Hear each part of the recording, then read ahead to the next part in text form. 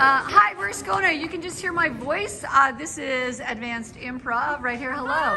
Uh, we're going to play a little game called Seven Up. Uh, Lorenz, what's the first thing that happens in Seven Up? The first thing that happens in 7 Up is that you say a number, which is 1, and you go from 1 till 7. And then you, you put, bring your hand across your chest. Whichever direction your fingers are pointing is the person who's going next. For example, 1, two, Three, four, five. Six. and then when you get to seven, you go like that and you say seven.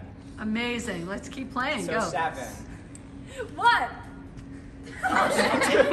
Three. four, five, six, Seven. 1, Two, three, four, five. six, 7. One, two. Once your improvisers get more advanced, you can cross the circle and go three.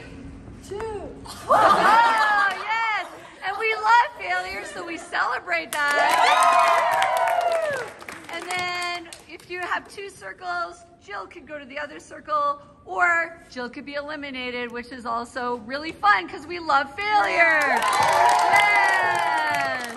Awesome. This is Go to Improv. We're going to send you a new game next week. And that's us.